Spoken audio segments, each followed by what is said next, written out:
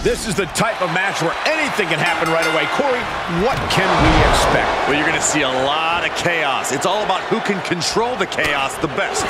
There are no limits, and every resource is at a superstar's disposal. Sit out, power bomb. This match's brutality starting to show on him. Starting to lose a step or two, but good news. Perched up top.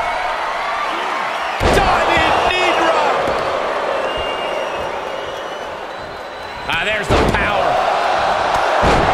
Power and quickness. We knew how bad this superstar wanted to win this match. An unyielding showing of authority. No two ways about it. So what's your favorite strategy in a Falls Count Anywhere match, Corey? I'm scouting. Oh, wow. Rendered unconscious. The official has to call it.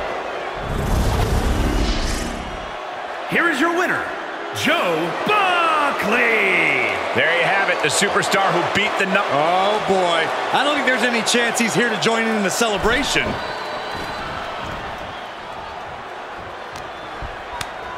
shifts it back onto him. And the surprise getting cut off at the pass.